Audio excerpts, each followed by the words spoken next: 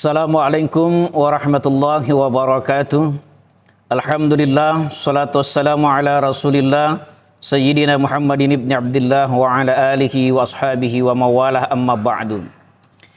Pada hari ini Senin tanggal 24 Juli 2023, Panitia Penyelenggara Ibadah Haji PPIH Debarkasi Balikpapan tahun 1445 Hijriah 2000 23 Masehi menyampaikan informasi terkait rekapitulasi kedatangan jamaah haji kloter 12 dan kloter 13 pada debarkasi Balikpapan sebagai berikut.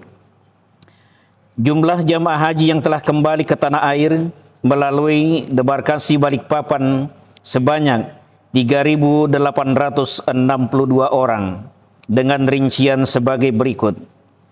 Kloter 12 294 orang asal Provinsi Sulawesi Tengah tanggal tiba 23 Juli 2023 pukul 11.34 waktu Indonesia Tengah dengan penerbangan GIA 4212.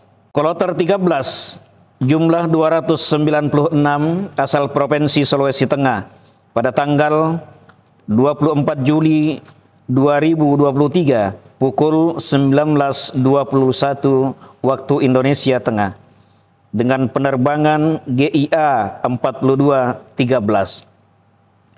Untuk selanjutnya pada tanggal 26 Juli 2023 sesuai dengan jadwal kloter 14 BPN tiba pukul 8.10 waktu Indonesia Tengah di Bandara Sultan Haji Muhammad Sulaiman Balikpapan, asal Provinsi Sulawesi Tengah, dari Kabupaten Donggala, Kabupaten Sigi, Kabupaten Toli-Toli, Kabupaten Poso, dan Kota Palu.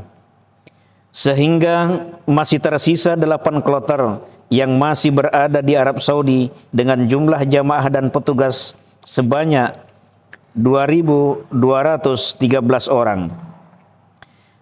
Informasi jamaah wafat dari Debarkasi Balikpapan hingga tanggal 24 Juli 2023 sebanyak 22 orang dengan jamaah yang baru wafat sebagai berikut.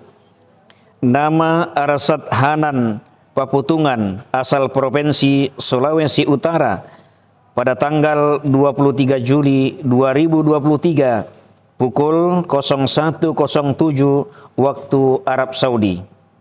Usia 67 tahun, kloter 16 BPN, wafat di Madinah. Rincian jumlah per kloter sebagai berikut. Kloter 1, 4, 5, 6, dan 7 masing-masing satu orang.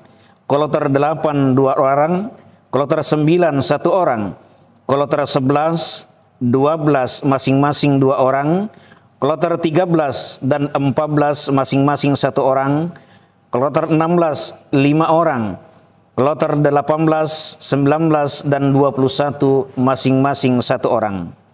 Secara lengkap nama jamaah wafat akan kami tampilkan pada infografis siaran ini.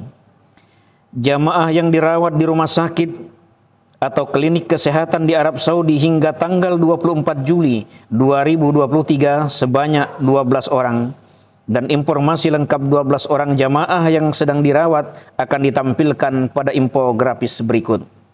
Demikian informasi yang dapat kami sampaikan. Semoga perjalanan jamaah haji Indonesia kembali ke tanah air berjalan dengan selamat dan lancar.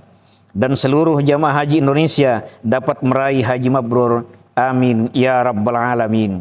Haji Indonesia, haji ramalansia. Wallahul muwafiq ila aqwamit tariq. Assalamualaikum warahmatullahi wabarakatuh.